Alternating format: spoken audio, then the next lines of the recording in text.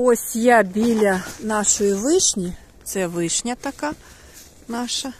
Я хочу позрізати гілочки на композиції до 8 березня. Ось таку буду зрізати. Вона тут нам і мішає.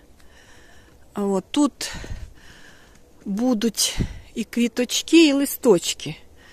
Треба, щоб була і зелень, і трошки білих таких ніжних квіточок. Зараз я наріжу ось такі гілочки. Ось цю віточку зріжу. І вона мені мішає, все одно треба тут обрізати, бо вона, коли ходимо, мішає нам. Потім я ще підрізати буду, звичайно. Ось цю.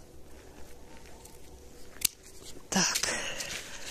Ось так наріжемо різні гілочки для всяких композицій. Вони треба за три тижні десь до 8 березня нарізати, щоб вони проснулися і були такі ніжні на зелень в композиції для прикраси.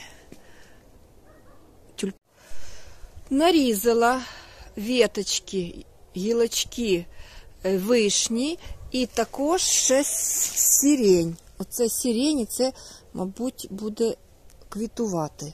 Є з листочками, є з квітоносами, побачимо. Зараз я поставлю це відерце в тепле місце до тюльпанчиків.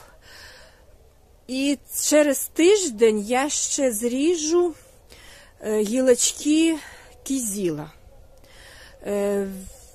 Чому не зараз? Тому що він швидко розкривається. Там він весь в бутончиках і швидко розкривається. Треба трошки пізніше його різати. Тож через тиждень буду різати ще кизіл.